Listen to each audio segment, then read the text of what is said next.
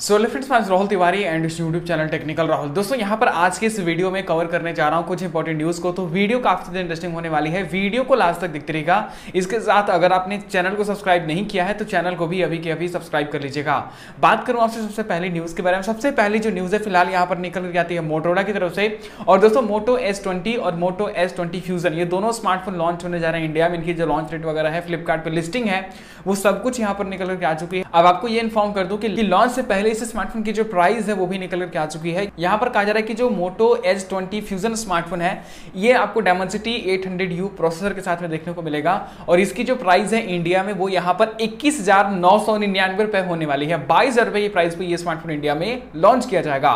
इसके साथ में जो मोटो एच ट्वेंटी स्मार्टफ़ोन है, जो कि आपको Qualcomm Snapdragon seven seventy eight five G processor देखने के लिए मिलेगा। इसकी जो प्राइस है वो इंडिया में उनतीस हज़ार नौ सौ निन्यानवे रुपए देखने को मिलने वाली है। तीस हज़ार रुपए की प्राइस में ये स्मार्टफ़ोन इंडिया में लॉन्च होगा।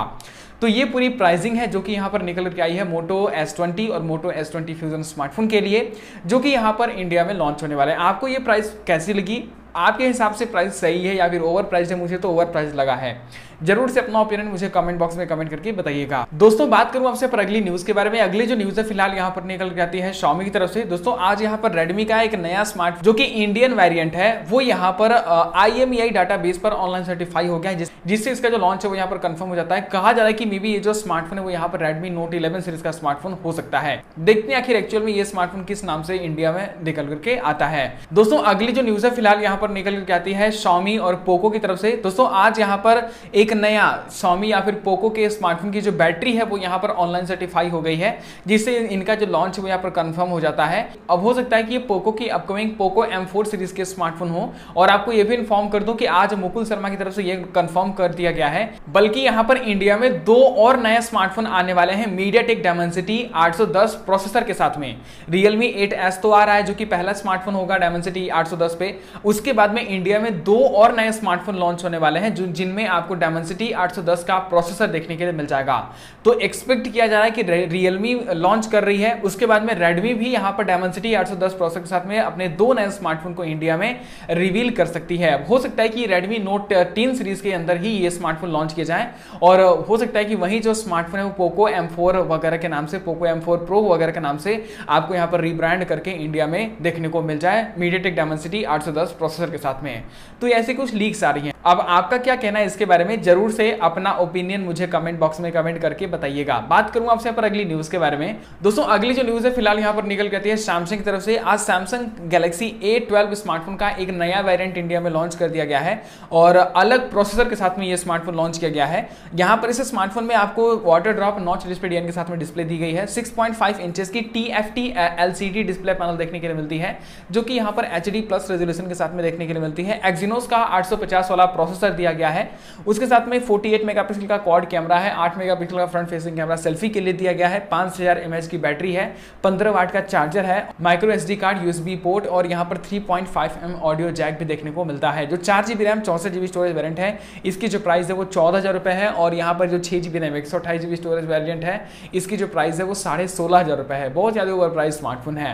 आपका क्या ओपिनियन है इसके बारे में? अपना ओपिनियन मुझे कमेंट बॉक्स में कमेंट करके बताइएगा। दोस्तों, बात करूँ आपसे अगली न्यूज़ के बारे में। अगली जो न्यूज़ है, फ़िलहाल यहाँ पर निकल जाती है स्मार्टफ़ोन की प्राइस ड्रॉप को लेकर के। दोस्तों, यहाँ पर फ्लिपकार्ट पे सेल तो खत्म हो चुकी है, लेकिन अभी भी काफ़ी सारे ऐसे स्मार्टफ़ोन है जिनको अगर आप यहाँ पर परचेस करते टाइम SBI का कार्ड यूज़ करते हैं तो आपको ढाई हज़ार तक का जो डिस्काउंट है, वो इन स्मार्टफ़ोन पे देखने के लिए मिल रहा है। पहला जो स्मार्टफ़ोन है, वो है मी टेन टी ये स्मार्टफ़ोन पे आपको एस का कार्ड यूज़ करने पर ढाई हज़ार का इंस्टेंट डिस्काउंट देखने के लिए मिल रहा है और यहाँ पर आपको प्राइस कट वगैरह भी देखने को मिल रहा है। तो आप इस स्मार्टफ़ोन को काफ़ी अच्छी प्राइस पॉइंट पर खरीद सकते हैं। इसके साथ में ओप्पो A53s 5G स्मार्टफ़ोन पे भी आपको डिस्काउंट देखने के लिए मिल रहा है। यहाँ पर SBI का कार्ड यूज़ करने पे आपको दो हज़ार का जो इंस्टेंट डिस्काउंट है वो देखने को मिल रहा है। तो आप इन स्मार्टफ़ोन को काफ़ी सस्ते दाम पे खरीद सकते हैं अगर आपको लेना होगा। दोस्तों, बात करूँ आपसे पर अगली न्यूज़ के बारे में। अगली जो न्यूज़ है, फ़िलहाल यहाँ पर निकल गया कॉलकम के एक प्रोसेसर को लेकर के।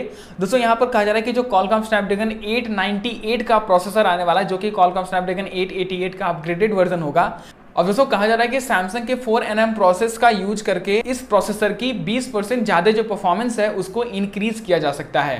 तो ये कुछ डिटेल है। अब आपका क्या ओपिनियन है इसके बारे में? अपना ओपिनियन मुझे कमेंट बॉक्स में कमेंट करके बताइएगा। बात करूँ आपसे अगली न्यूज़ के बारे में। अगली जो न्यूज़ है, फ़िलहाल यहाँ पर निकल के आती है टाटा की तरफ़ से।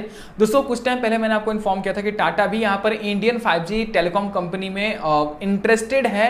ये यहाँ पर टेलीकॉम कंपनियों में फिर से यहाँ पर कम कर सकते हैं ये लोग और यहाँ पर फाइव नेटवर्क भी प्रोवाइड कर सकते हैं। अब दोस्तों, यहाँ पर फिर से एक नई डिटेल आ चुकी है। अब यहाँ पर जो टाटा वाले हैं, वो प्रोसेसर बनाने बनाने में भी इंटरेस्टेड हैं। टाटा जल्दी ही यहाँ पर प्रोसेसर वगैरह में भी इन्वेस्टमेंट करने वाली है और यहाँ पर टाटा के जो प्रोसेसर होंगे वो खुद से इंडिया में ही बनाए जाएँगे मेड इन इंडिया प्रोसेसर होंगे। अभी तक कोई भी ऐसी कंपनी नहीं है जो कि इंडिया की हो और यहाँ पर वो प्रोसेसर को यूज़ बनाती हो। प्रोसेसर बनाने के लिए, प्रोसेसर का यूज़ करने के लिए जितने भी इंडियन स्मार्टफ़ोन कंपनियाँ हैं, उनको भी दूसरी कंट्रीज़ का की हेल्प लेनी पड़ती है। लेकिन अब यहाँ पर टाटा प्रोसेसर में भी इंटरेस्टेड है और वो लोग इन्वेस्टमेंट करने वाले हैं, जिसके बाद में आपको टाटा के जो प्रोसेसर होंगे वो इंडिया में देखने को मिल जाएँगे। और सुनने में आ रहा है कि टाटा जो है वो फाइव जी पे भी काम कर सकती है। अब दोस्तों, इससे भी कहा जाता है कि अगर यहाँ पर टाटा फाइव प्रोसेसर को लेकर के आती है तो माइक्रोमैक्स लावा ये जो स्मार्टफ़ोन कंपनियाँ हैं, वो सबसे पहले यहाँ पर टाटा के फाइव प्रोसेसर का यूज़ करेंगे अपने स्मार्टफ़ोन स्मार्टफ़ोन में और मे बी माइक्रोमैक्स और लावा की तरफ़ से आपको अपकमिंग जो 5G स्मार्टफ़ोन है, वो टाटा वगैरह के ही प्रोसेसर पे देखने को मिल जाए। तो ऐसी कुछ डिटेल है। अगर यहाँ पर टाटा के प्रोसेसर पे माइक्रोमैक्स और लावा के 5G स्मार्टफ़ोन आते हैं तो ये स्मार्टफ़ोन कहलाएँगे 100% truly made in India smartphone तो टाटा भी अब यहाँ पर प्रोसेसर बनाना स्टार्ट करने वाली है। आपका क्या ओपिनियन टाटा के बारे में? ज़रूर से अपना ओपिनियन मुझे कमेंट बॉक्स में कमेंट करके बताइएगा। दोस्तों, बात करूँ आपसे पर अगली न्यूज़ के बारे में। अगली जो न्यूज़ है, निकल करके आती है रियलमी नाइन सीरीज़ के स्मार्टफ़ोन को लेकर के। दोस्तों, आज यहाँ पर एक ऐसी ट्वीट निकल करके आई मैं आपको दिखा देता हूँ। यहाँ पर ये दावा किया जा रहा है कि जो रियलमी नाइन सीरीज़ के स्मार्टफ़ोन होंगे, वो नेक्स्ट मंथ लॉन्च होने वाले हैं। और रियलमी नाइन सीरीज़ के जो स्मार्टफ़ोन होंगे, वो यहाँ पर बहुत ही अच्छे पैकेज के साथ में हमें यहाँ पर देखने को मिलने वाले यानी फीचर्स काफ़ी अच्छे होने वाले हैं। और ये दावा किया जा रहा है यहाँ पे कि अगले महीने जो रियलमी नाइन सीरीज़ के स्मार्टफ़ोन है, वो यहाँ पर इंडिया में लॉन्च कर दिए जाएँगे। तो देखते हैं आखिर क्या होता है। वैसे चांसेस बन रहे हैं कि अगले महीने आपको जो रियलमी नाइन सीरीज़ के स्मार्टफ़ोन है, वो इंडिया में देखने को मिलने ही वाले हैं। तो दोस्तों फाइनली ये थी कुछ डिटेल आपके लिए। तो दोस्तों फाइनली ये थी कुछ इंपॉर्टेंट न्यूज़ आपके लिए। अब आपका क्या कहना है इन सभी चीज़ों के बारे में, ज़रूर से अपना ओपिनियन मुझे कमेंट बॉक्स में कमेंट करके बताइएगा। अब दोस्तों, ये था उस वीडियो में। अगर आपको ये वीडियो पसंद आई वीडियो को लाइक करिएगा। इसके साथ अगर आपने चैनल को सब्सक्राइब नहीं किया है तो चैनल को भी अभी अभी सब्सक्राइब कर लीजिएगा।